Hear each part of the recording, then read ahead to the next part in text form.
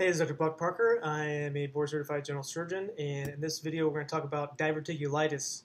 Uh, a lot of people uh, always ask me about what, what is diverticulitis, and a lot of patients come in, and they have diverticulitis and never heard of it, and they want to know what it is, and they're a little confused about things. So, this uh, video, we're going to go over diverticulitis. All right, so definition.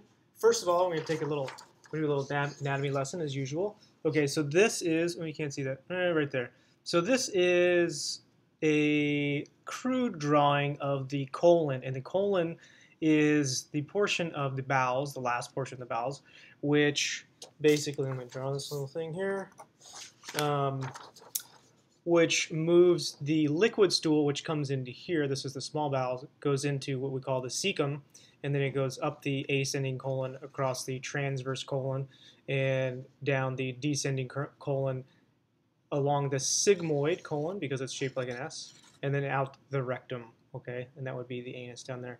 So um, basically, the colon removes a lot of water from the stool that comes in liquid here, uh, this part here, and then it's liquid, and then it's the water gets removed, uh, some electrolytes get removed, and then it becomes solid somewhere over here, and then it goes out the infamous poop chute down there, right?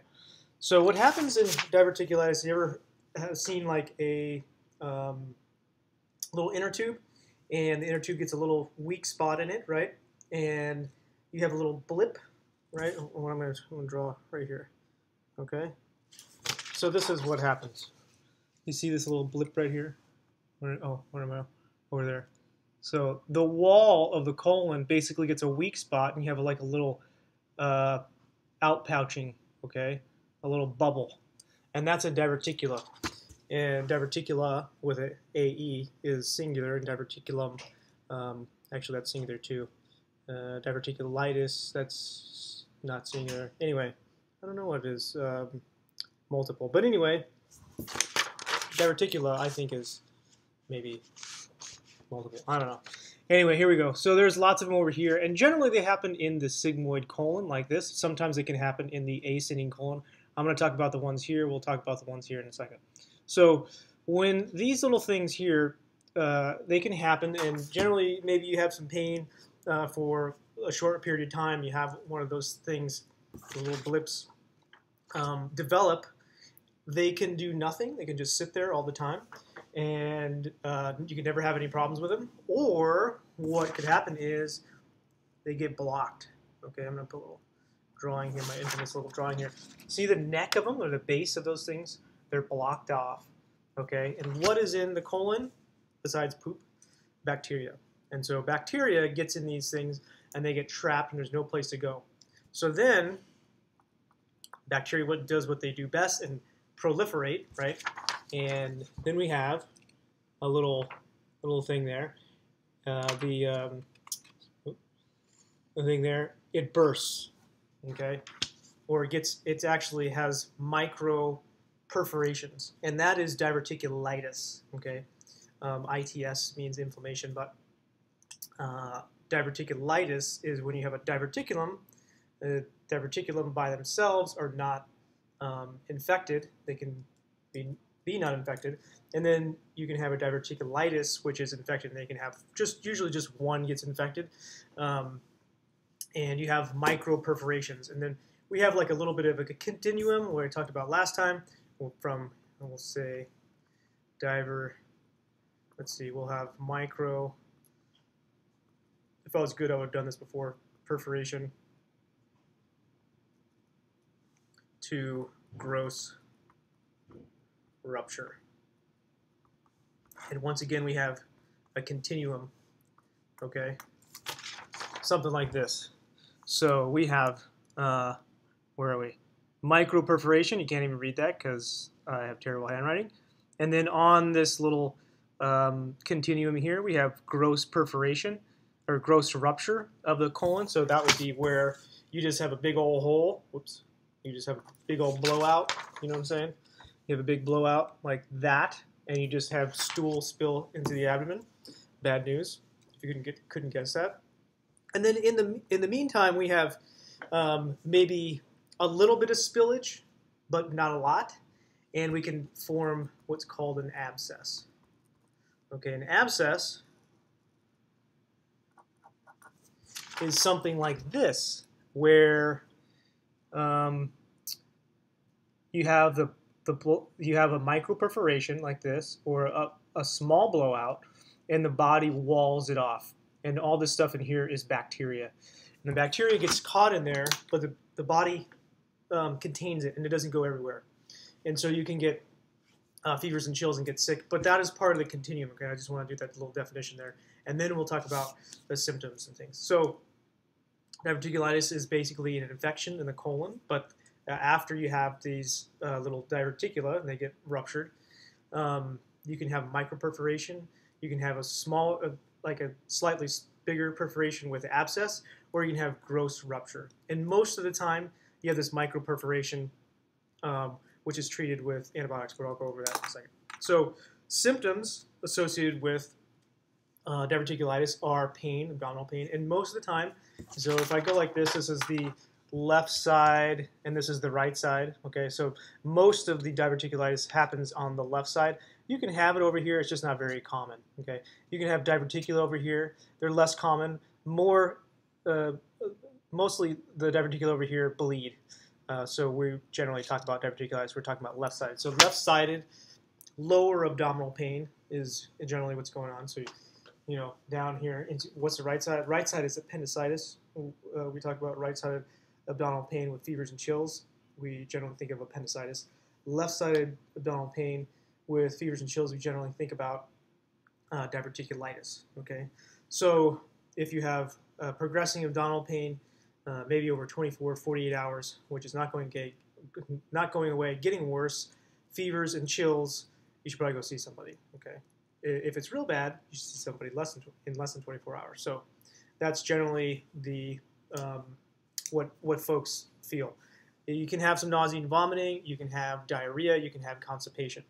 Now, let me mention real quick why do we get these? And it is essentially because the colon is having a lot of pressure. Okay, so as you can imagine, uh, the colon is kind of like uh, a muscular tube and it squeezes along the way like this, right? It squeezes everything down. So if the squeeze, you generate too much pressure in the colon, then you can have, that's just like the, the weakening of the, tu- the inner tube. The wall, there's certain parts of the uh, colon where the wall is a little bit weaker, and that's where you have those little outpouching things.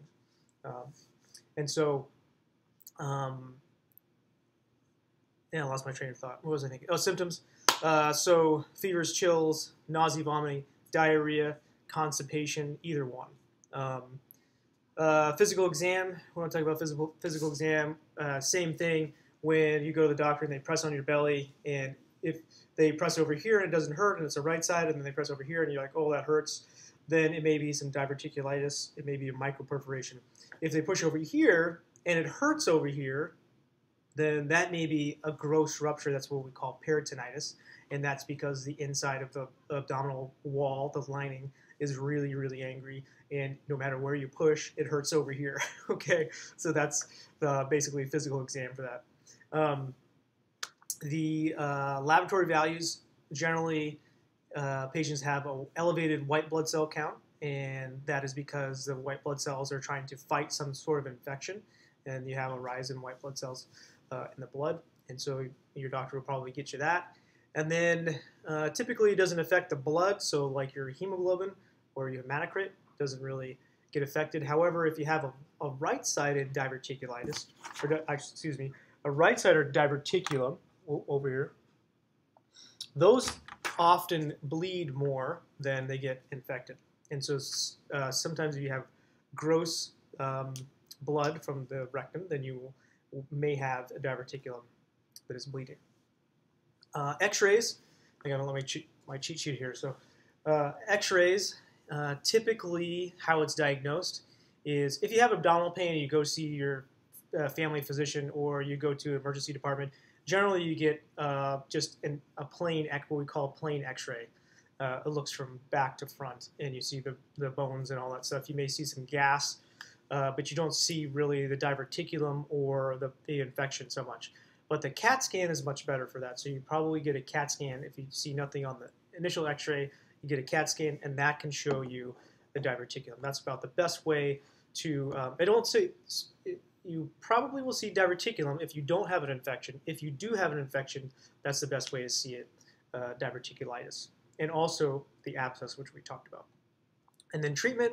Um, so there's a few ways we can treat this depending on what is going on. So if it's a microperforation and we don't think there's spillage of stool into the abdomen, and there's not an abscess and it's not gross spillage, then we can generally treat those with antibiotics. Uh, sometimes you need a little bit of IV antibiotics. Say like you stay in the hospital for 24 hours, you get the IV antibiotics, and then you feel much better the next day, and you go home and you stay on um, oral antibiotics for about uh, eight to eight to 14 days, depending on your um, severity. If you have an abscess, so that's a little different. Um, what you do, depending on how big the abscess is, if it's over two centimeters, you may stick, well, maybe I shouldn't say stick, but you put a needle, you place a needle generally into the abscess. Okay, this is done under uh, radiologic guidance. So CT, you get a CAT scan or an ultrasound, and you can put a needle through the skin after you numb the skin into the abscess and suck out the pus, basically. That's not the fancy way of saying it, but that's what you do. And you can get that, and sometimes you leave a drain, like a tube, in that cavity, and sometimes you can suck out the pus and you don't need to leave a drain. And so you'd also get antibiotics for that, depending on how big the abscess is, depending on um, where it's located and all that stuff. You can have that done, and you may have um, antibiotics for two weeks to six weeks, depending on the severity.